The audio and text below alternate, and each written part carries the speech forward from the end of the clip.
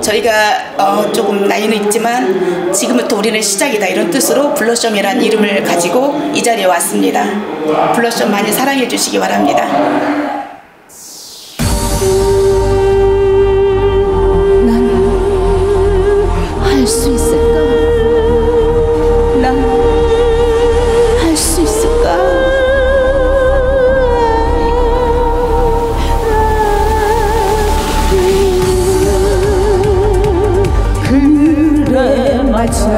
유레카 바로 이거였어.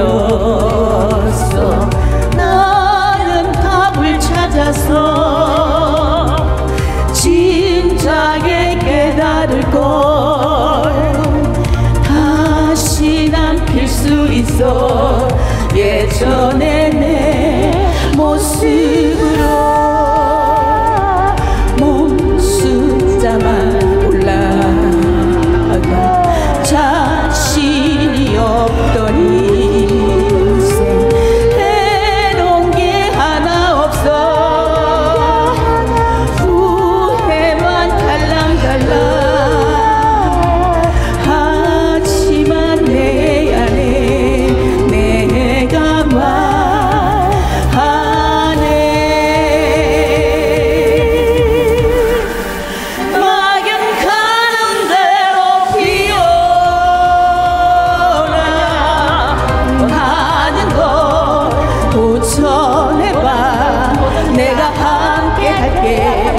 멈추지 말고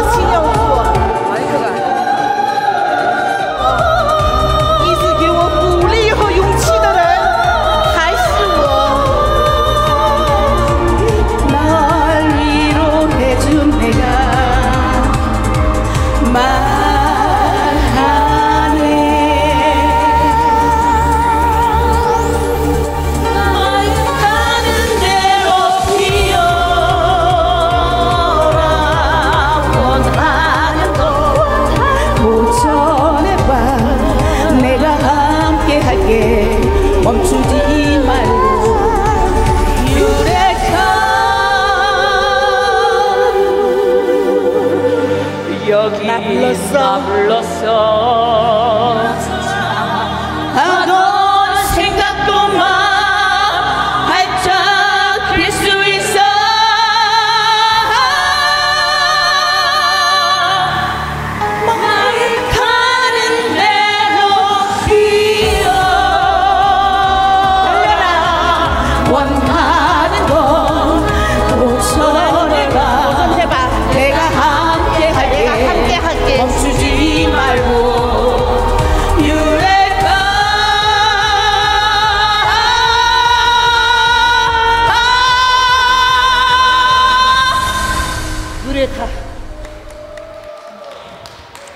네, 수고하셨습니다. 감사합니다.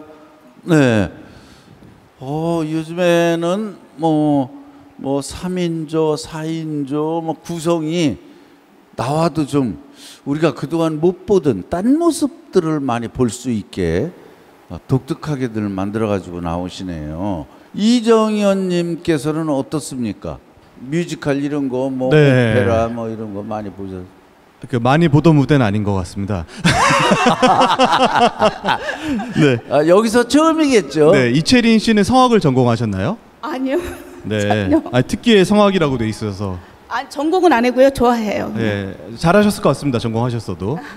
그런데 좀 아쉬웠던 것 중에 하나가 어, 김영화 씨께서 나레이션을 하셨는데 그걸 좀 더 확실하게 하셨으면 좋지 않았을까. 또 중간에 독백 하실 때 나레이션 하실 때 중국어로 하셨잖아요. 네. 그 이유가 있습니까? 어, 제가 중국말을 잘 합니다. 네, 한국말로 더 하, 그런 걸 절규하시면서 표현을 하셨으면 더 좋지 않았을까 이런 생각도 들고요. 네, 다음에는 좀 연습해서 한국어를 해보겠습니다. 아니면 혹시 교포신가요? 예, 교포예요. 네. 아, 예, 그럼 이해하겠습니다.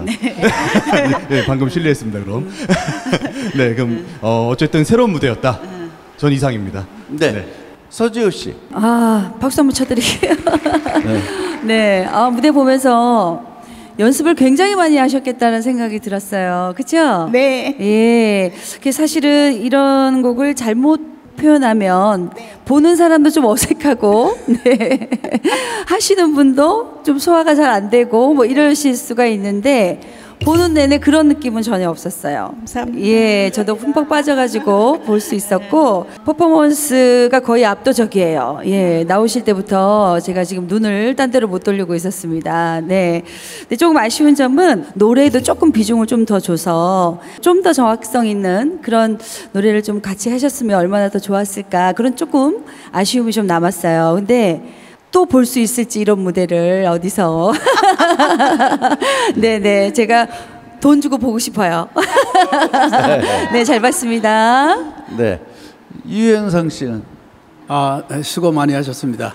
예, 아주 새롭네요. 그리고 멋있고 어디서 지금 활동을 하세요? 전에 활동을 하려고 네. 했는데 코로나가 터져가지고 아, 그냥 있다가 이걸로 인해서 도전을 네. 해보자 해갖고 좀 어려운 장르를 선택해서 왔습니다. 다 좋은데 이제 선배로서 한 말씀 드리겠습니다. 노래 연습, 그러니까 가사 전달이라든가, 그러니까 좀 정직하게 이런 건 리듬이 있기 때문에 박자 그대로, 멜로디 그대로 이렇게 노래 연습을 하시면 뭐 의상이라든가 퍼포먼스, 연출 그런 것도 지- 아주 진짜 좋아요. 그러니까 많은 분들에게 더 감동과 감흥을 드릴 수 있는 그런 블러썸, 예, 이 되지 않을까 생각해요. 아주 멋졌습니다. 네, 수고했습니다. 감사합니다. 네, 네. 네. 수고하셨습니다. 네.